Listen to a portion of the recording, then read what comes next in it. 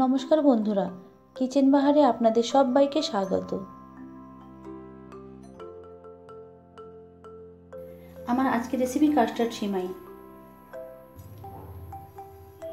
এর জন্য এখানে আমি দুশো গ্রাম সিমাই নিয়েছি। গ্যাসে একটা প্যান বসিয়ে এক চামচ ঘি দিয়ে দিলাম। ঘিটা মেল্ট হয়ে এলে দিয়ে দিচ্ছি কিছু পরিমাণে শুকনো নারকেল কুচি আর কাজু কিশমিশ।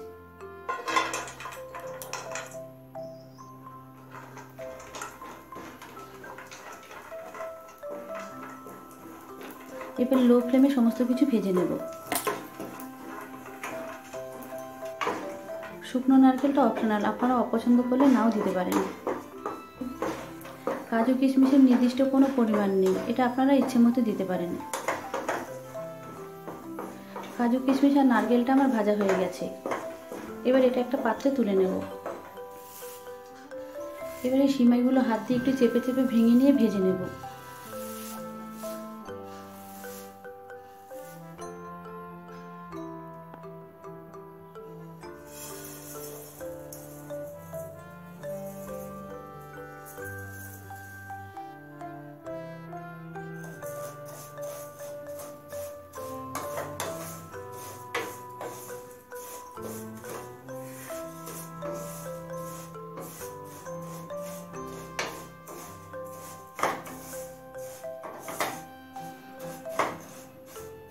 সিমাইটা একদম লো ফ্লেমে ভেজে নিতে হবে যাতে সিমাইটা পুড়ে না যায়।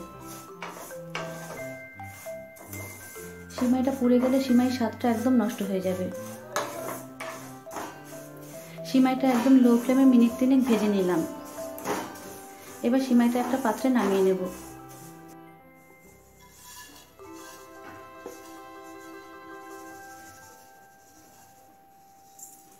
এবার এই একই প্যানে নিয়ে নিচ্ছি এক লিটার লিকুইড দুধ। এবার এই দুধটা হালকা গরম করে নেব। দুধটা হালকা গরম হয়ে আসার পর দিয়ে দিচ্ছি একশো গ্রাম পাউডার দুধ।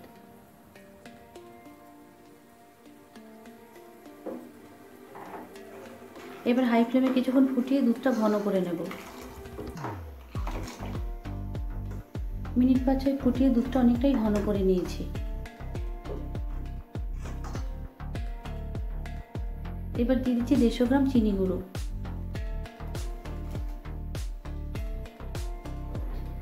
চিনিটা দুধের সাথে ভালো করে মিশিয়ে নেব। গুঁড়ো চিনি ব্যবহার করলাম, আপনারা চাইলে দানা চিনিও ব্যবহার করতে পারেন। চিনিটা দুধের সাথে মিশিয়ে নিয়েছি।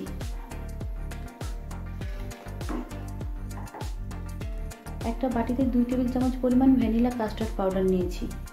কিছুটা ঠান্ডা দুধ দিয়ে এটা গুলে নেব। কাস্টার্ড পাউডারটা খুব ভালোভাবে গুলে নিতে হবে, যেন কোনো রকম লামস না থাকে। কাস্টার্ড পাউডারটা খুব ভালোভাবে গুলে নিয়েছি। এবার এই কাস্টার্ড পাউডারটা অল্প অল্প করে দিয়ে দুধের সাথে মিশিয়ে নেব।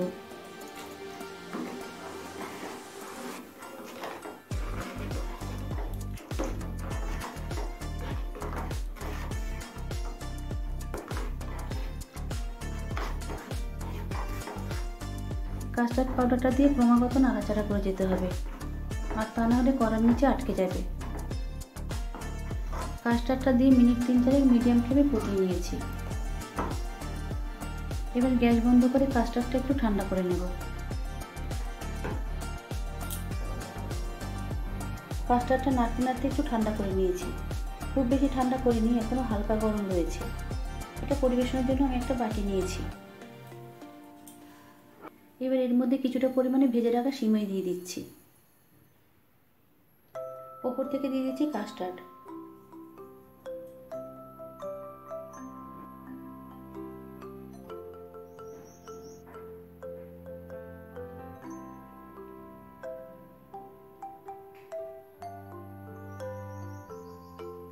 আবার উপর থেকে দিয়ে দিচ্ছি সিমাই।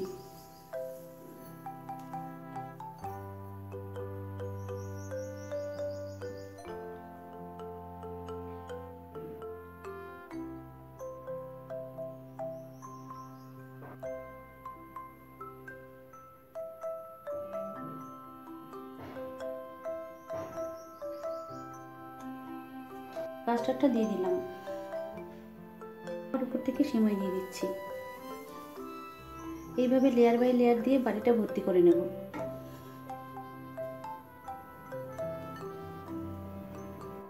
এবার ভেজে রাখা কাজু কিশমিশটা দিয়ে দিচ্ছি।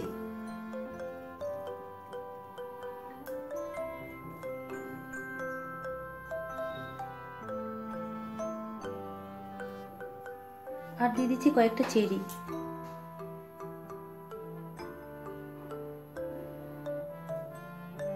এবার উপর থেকে আরেকটু কাস্টার্ড দিয়ে দিচ্ছি।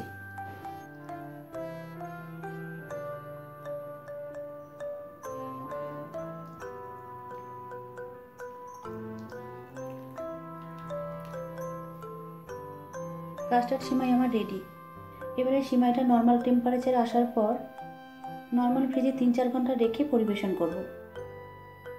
তিন চার ঘণ্টা পর ফ্রিজ থেকে সিমাইটা বার করে নিয়েছি। এবার সিমাইটা আমি আপনাদের তুলে দেখিয়ে দিচ্ছি। আমার এই কাস্টার্ড সিমাই রেসিপি আপনাদের কাছে কেমন লাগল অবশ্যই কমেন্টস করে জানাবেন। যদি ভালো লাগে লাইক শেয়ার করবেন আর আমার চ্যানেলটিকে অবশ্যই সাবস্ক্রাইব করবেন। তাহলে আজকের মতো এই পর্যন্ত। আবারও দেখাবে নতুন কোনো রেসিপি নিয়ে।